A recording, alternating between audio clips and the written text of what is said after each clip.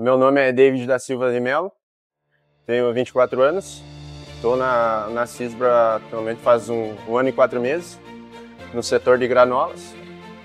Cara, o, o setor consiste em a gente receber o pedido do TCP, uh, ah, ver a quantidade, né? A gente tem uma planilha que dá somado já os produtos que vão, a quantidade de cada produto.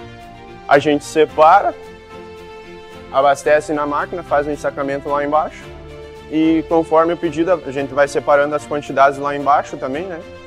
Cara, eu sinto um orgulho imenso, porque desde que eu cheguei aqui eu tive várias oportunidades, não de ficar parado no mesmo lugar, mas sim de evoluir junto com a empresa, né?